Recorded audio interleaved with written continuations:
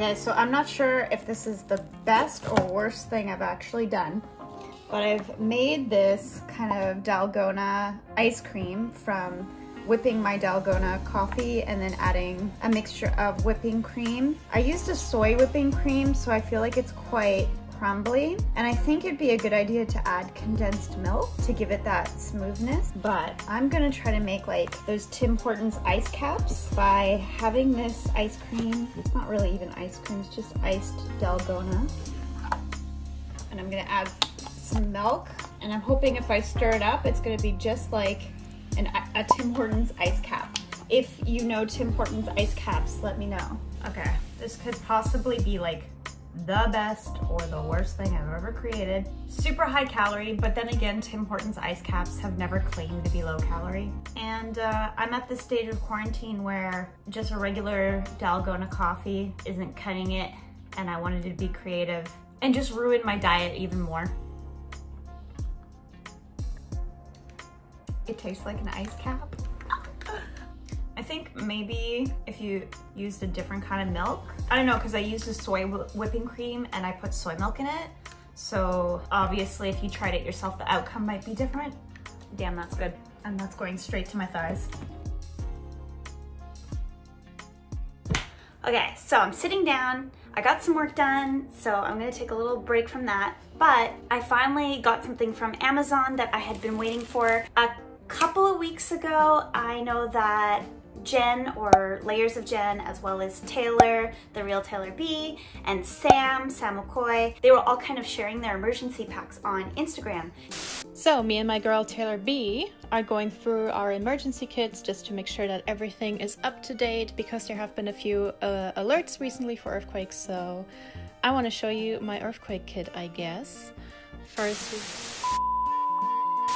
and after talking to Boyo, I realized that we don't have one. I actually did have one when I was living in Kochi, but after leaving Kochi, I sold my emergency pack to my successor because I figured that she would need it more than I would because Kochi is kind of on the fault line of the Nankai Trough, which is a tectonic plate where there's the potential for a mega quake. And because Kochi is so close to it, to be honest, it's kind of a dangerous area to be.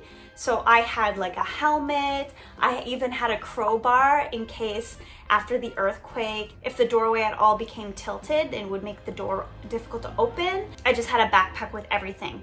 But after seeing everyone's posts on Instagram with their emergency kits, I decided to go on Amazon and a lot of them were already sold out because there had been rumors going around that there might be a mega quake soon, which made me a little bit nervous. So I got this on Amazon. I will link it down below. This is supposed to be for one person, but it comes with 30 different items inside.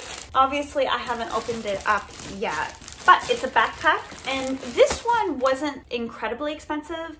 On Amazon, you can find ones that are over 10,000 yen or even over 20,000 yen, but they'll have basically everything you ever need. This one I got, I believe for around maybe just over 4,000 yen. In my opinion, it's better than nothing. I think it's probably an emergency kit. Just let's see, let's open this up. Just another 20 minutes of me struggling.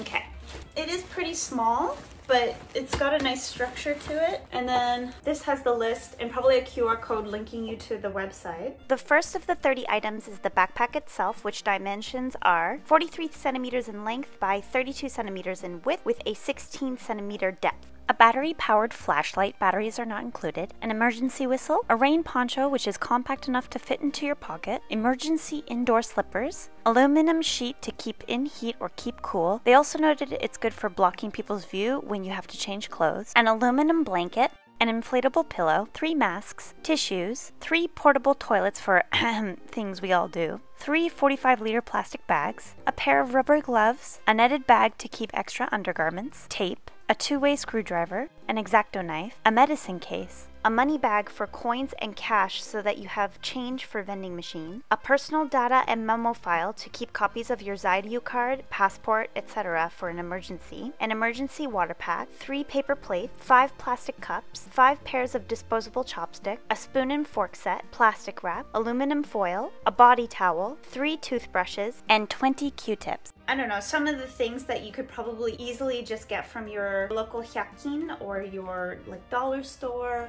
or the hyakuen shop or 100 yen store. So I bought this backpack for 3,851 yen and it came with free delivery. But if you were to go to a 100 yen shop, you could probably get all these things for 3,300 yen if everything was 100 yen. But I am doubtful. If you wanted to get the backpack with everything all assembled for you, then this is probably the easier way to go. Let's see if there's anything in this front pocket. Maybe not.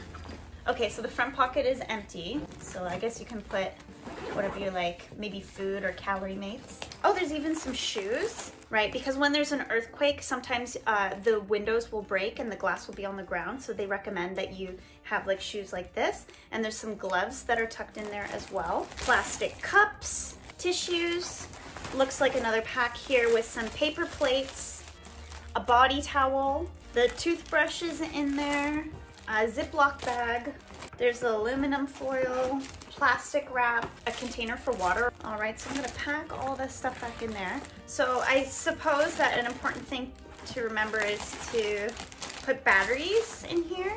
I would probably add some stuff like feminine products. So if you're living in Japan and you're interested in just a small pack like this, just to kind of get you started and then you can maybe add stuff to it, I will link this down in the description box below. And I'm gonna put this, my emergency water. So I bought um, a few liters of this emergency water. It was really cheap, only 91 yen per two liters. And I'm just gonna keep this in this corner here so it's easy to grab. I noticed that it doesn't come with a radio. And I think a radio is important to have because it's a way to get information, especially when you know your phone's gonna run out of power and there might not be electricity and you have to have a way to get information. So if I do go to my 100 yen shop, I might pick up like uh, a small portable radio, batteries, and anything that I might add. Taking a break for lunch and I'm having like a taco. It's actually a fajita wrap, but I decided to put it on the stove like they do for the crunch wraps. So yummy.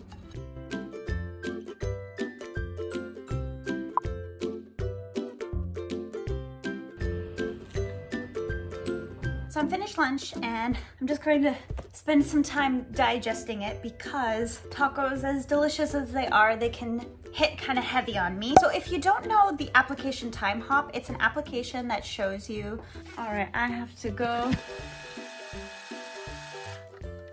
back home now. It is freaking hot.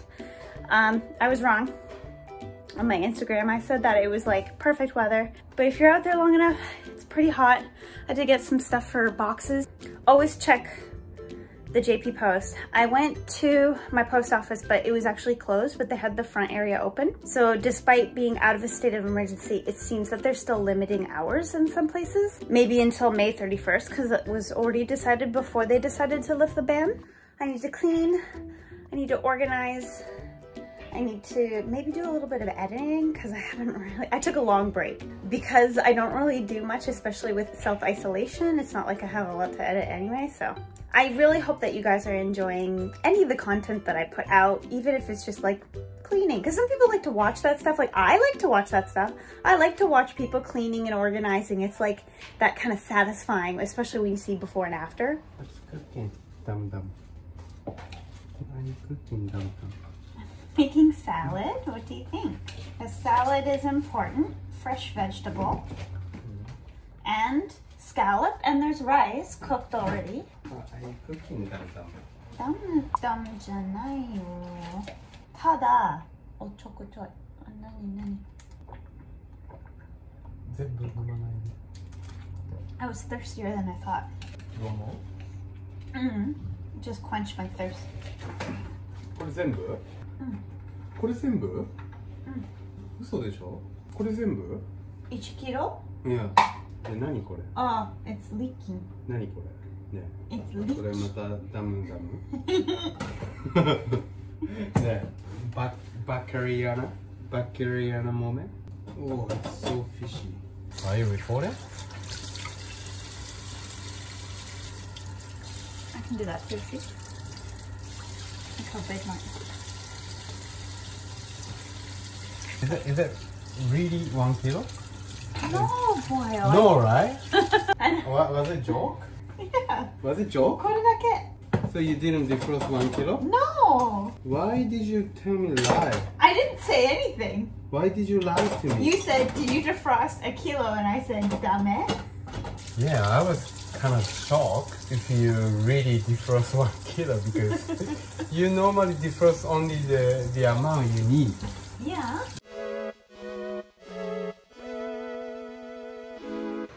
Went by so quick I didn't even record it. Dinner. And then I think someone's gonna relax with some new games. And I'll just do some editing, I think. I thought you were gonna play the other one. You're doing the racing one? I'll play that.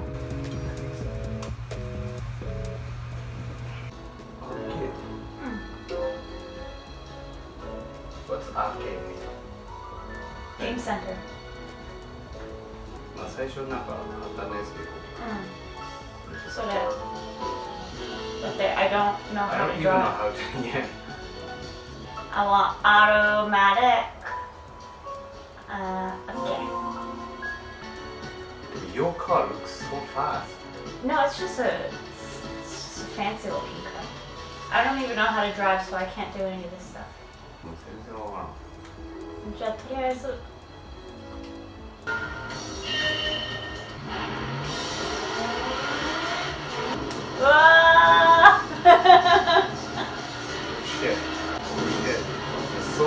go. Ah, I know which is brake. It's O. oh. Oh. Olga break. No, I think O is side brake. Really? Because I went full, full swing. 이런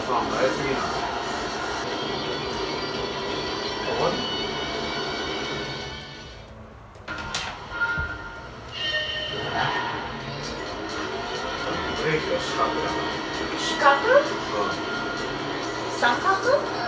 四角。四角本当 Yeah. It wasn't brake. Oh.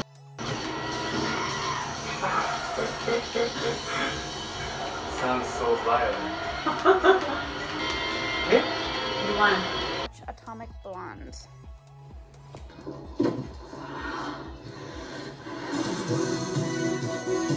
Why?